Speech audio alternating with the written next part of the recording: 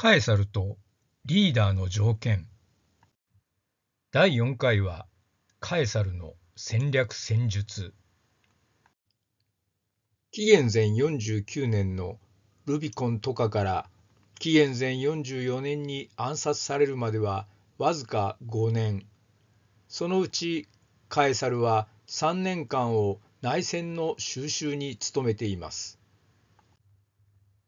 イタリア国内での内戦の短期収集に失敗したカエサルは、ローマへ向かいポンペウスとの対決の準備をします。カエサルが立てた戦略はこうです。カエサルはルビコン川を越えてから2ヶ月で一兵も失わずイタリア半島を手中に収めましたが、その支配を確かなものにする必要がありました。そのためには本国の民の安全食料を確保し、自分の側に引きつけておかなければなりません。そのためローマの食料供給地でありポンペウス派が統治するサルデーニャ島シチリア島北アフリカの確保。そのための部下の派遣をカエサルはすでにブリンディシで行っていました。次に命じたのがアドリア海の政界権の奪取そこにはカエサルがポンペウスとの対決のためギリシャに渡る時のための安全確保とポンペウス側による本国奪取の阻止という2つの目的がありました。このようにポンペウスが支配する南と東の攻略を部下に命じたのです。その上で自らは西すなわちスペインに向かったのです。ところでブリンディ氏から3月31日夕方にローマに戻ったカエサルは4月7日朝にはローマを出発しスペインに向かいますがこの1週間足らずのローマ滞在中にも元老院でロシウス法という重要な法案を可決させています。それは北イタリア属州ローマ人がガリア・キサルピナと呼んでいた北イタリアの属州民にローマ市民権を与えるとした法です。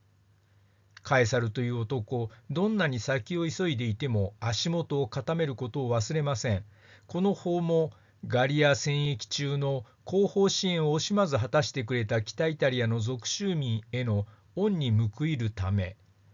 しかし、それだけにはとどまりません。カエサルが実現させようとしている属州の地位を向上させローマ本国と一体化することの先行実施でもありました。それによって人々に自分が目指す理想国家像を具体的に理解させることでガリア・キサルピアにとどまらない属州民の支持を獲得しようとしたのだと思います。6月22日、カエサルはレリダに到着。途中マルセイユで攻防戦に1ヶ月を費やしたカエサル軍はここでの戦いで苦戦を強いられます。何しろ敵将がローマとギリシャのポンペイスのもとに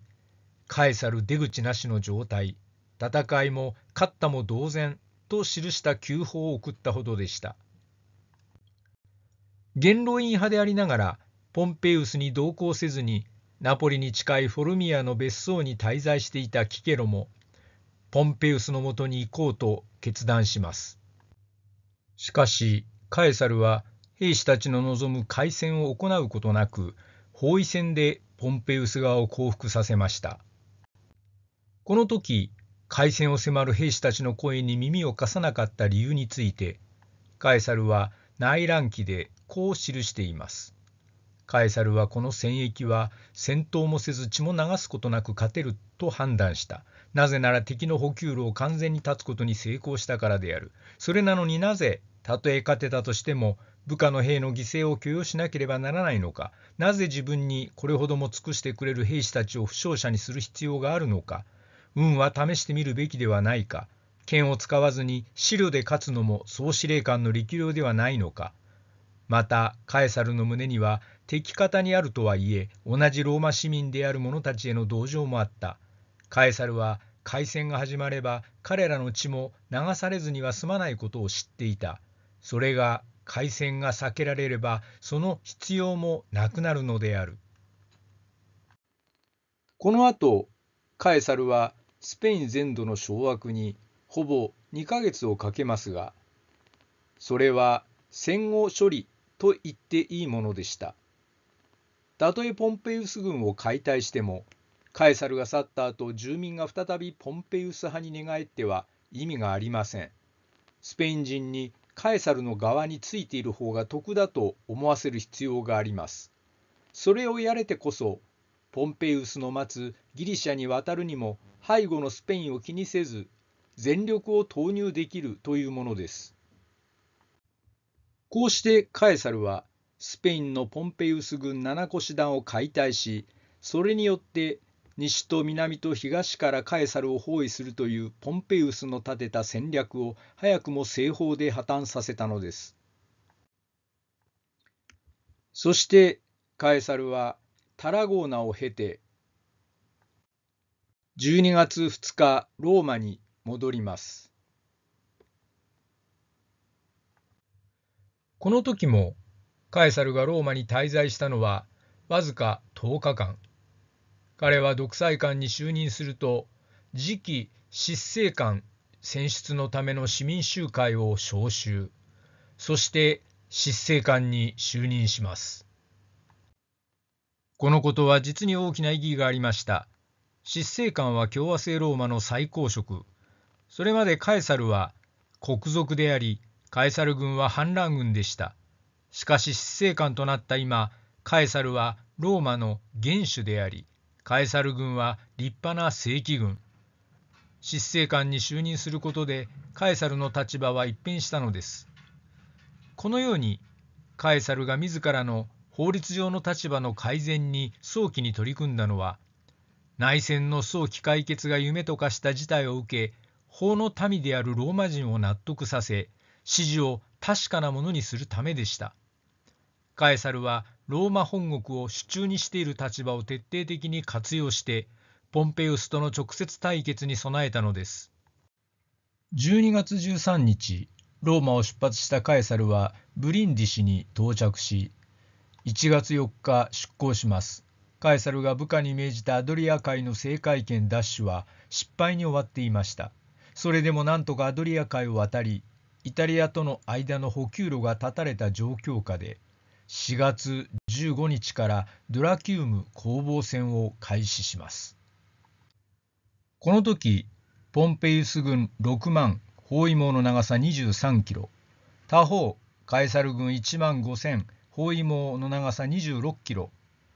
相手の4分の1の兵での包囲戦は無謀とも思えますが、カエサルに賞賛がなかったわけではありません。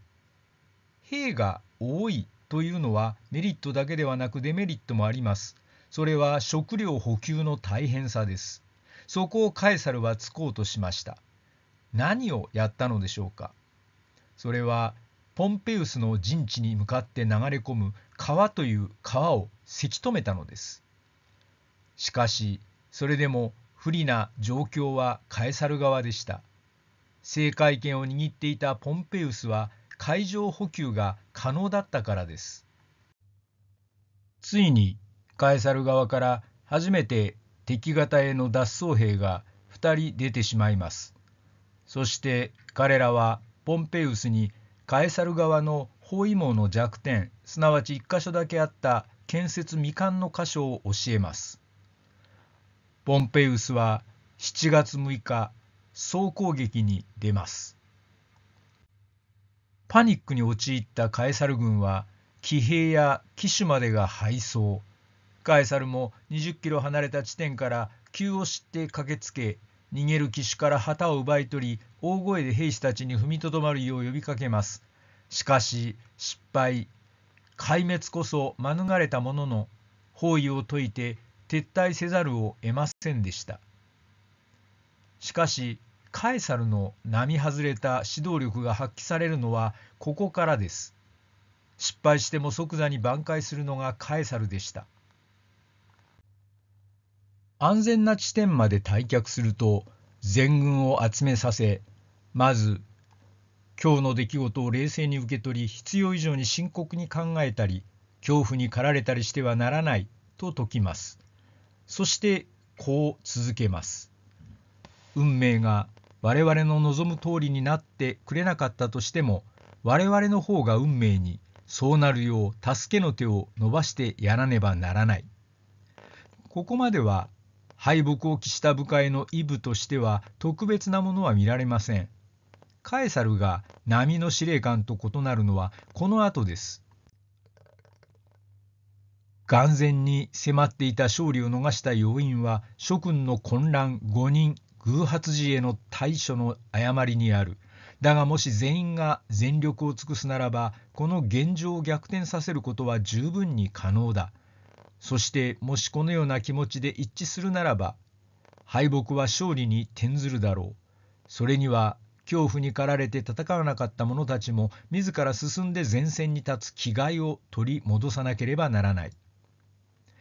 兵士たちを怒りに任せて罵倒するわけでもなければ自分の戦略の誤りを認めて部下の責任を問わなかったわけでもありません。敗因を冷静に指摘した上で現状打開の道を指し示したのです。敗因が部下たちだけにあったとカエサルが考えていたわけではないでしょう。しかしカエサルは常に今何をなすべきか何が今最優先の課題なのかを考えて行動する人間です。そしてこの時の最優先課題は敗北を喫した軍の再建。それがこのような訓示となったのでしょう。ではカエサルの言葉を聞いた兵たちの反応はどうだったのでしょうか彼らの胸に湧き上がってきたのは恥の思いでした。せめて戦線を捨てた騎手だけは死刑に処してほしいと言います。しかしカエサルはこれを拒否。兵たちの恥の思いはますます強くなり泣きながら嘆願します。敵のところへ戻してくれ。今度は全力で戦うから。しかし、カエサルはこれも拒否します。結局カエサルが与えた罰は、大気を捨てて逃げた騎手数人の降格だけでした。恐怖による支配の対極にある見事な人心掌握術です。もちろん、カエサルは戦略上の範囲も考えた上、戦略の根本的変更を行います。ポンペイウス軍と同等の条件で戦うには、ポンペイウスを補給基地ドラキウムから引き離し、優勢な海軍力の支援を望めるギリシャ西岸地帯から引き離す必要があります。